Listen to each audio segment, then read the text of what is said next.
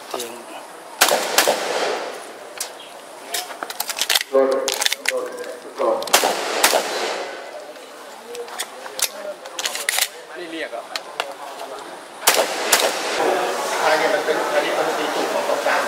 มันจะใช้ได้ถ้าเอาไอ้เนี่ย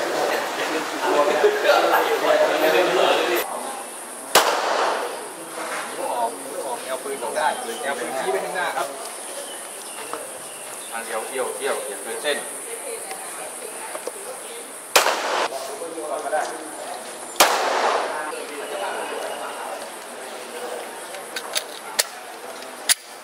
มือซ้ายมือเดียวนู่นนู่นนู่นนู่นนู่นฝั่งนู้นแล้วเวลาปืนอะ เวลาคุณจะลดปืนอะคุณลดปืนคุณมานี่เลยเนี่ยแค่นี้คุณแค่นี้แล้วก็ยืนขึ้นมา แล้วก็ไปยืนอะเวลายืนอะคุณยิงเนี้ยครับสุดท้ายละดีครับทีปืนทีไปข้างหน้าโป้งโป้งใช่ไหมพร้อมแล้ววางโอ้ยใจเย็นใจเย็นใจเย็น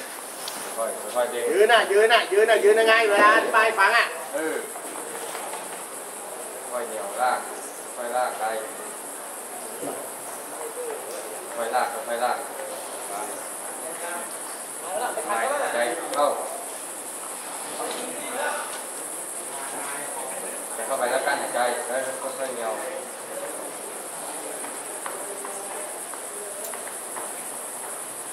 ไหวไหม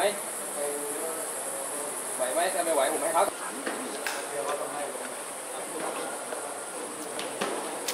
ปิดโม่ยิงดับเบิ้ลไม่ต้องง้างนก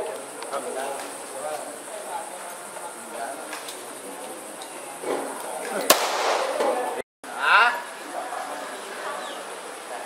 เว ลาอธิบายออกดูชี้ไปข้งหน้าดีมากดี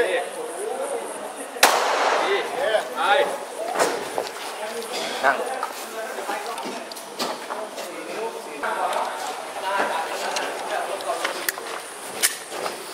เดียวซ้ายเดียวนะ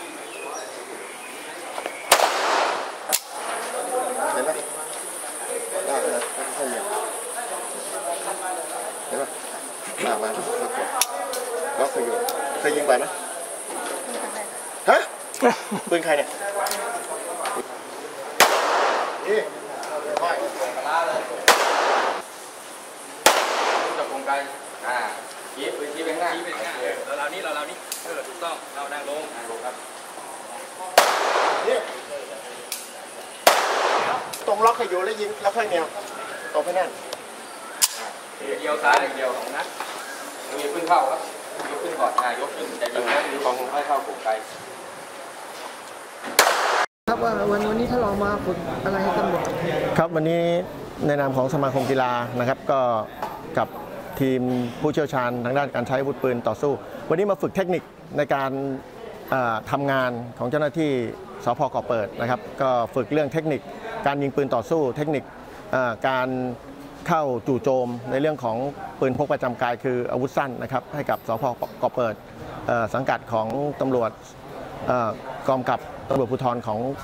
ของจังหวัดจันทบุรีคิดว่าการฝึกครั้งนี้จะเป็นผลต่อเจ้าที่ตำรวจยังไงบ้างครับสิ่งที่สำคัญที่สุดก็คือเวลาเผชิญเหตุจริงเนี่ยต้องไม่ตื่นกลัวและไม่ตื่นเต้น แล้วก็ใช้อาวุธอย่างถูกต้อง แล้วก็แม่นยำแล้วก็ไม่ไม่ไปกระทบต่อพี่น้องประชาชนหมายถึงว่าเวลาใช้อาวุธแล้วเนี่ยอาวุธปืนเนี่ยต้องไม่ไป ถูกพี่น้องประชาชน สามารถควบคุม แล้วก็ดูแลอาวุธที่ตัวเองใช้เนี่ยอย่างแม่นยำแล้วก็ตรงตามวิถีของเป้าที่เราจะยิงนะครับแล้วก็ปลอดภัยต่อพี่น้องประชาชนด้วย แล้วก็สามารถคุ้มครองดูแลประชาชนแก้ไขปัญหาได้อย่างรวดเร็ว